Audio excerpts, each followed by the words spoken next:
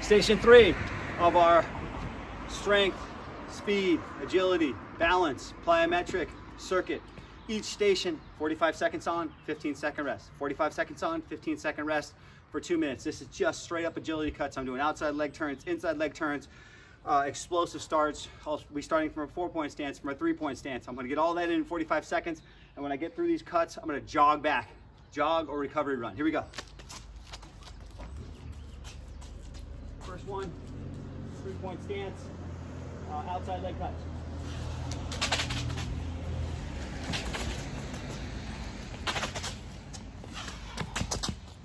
Look, jog back.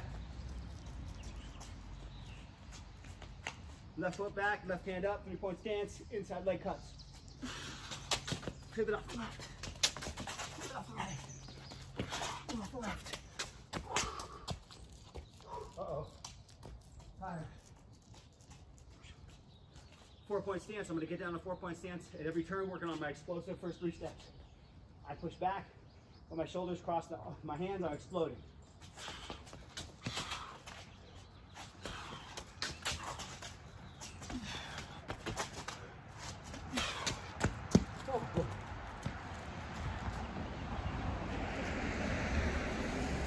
Forwards, back middle, forwards, back middle.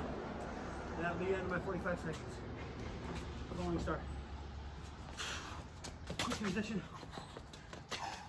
Quick transition. Quick transition. Time.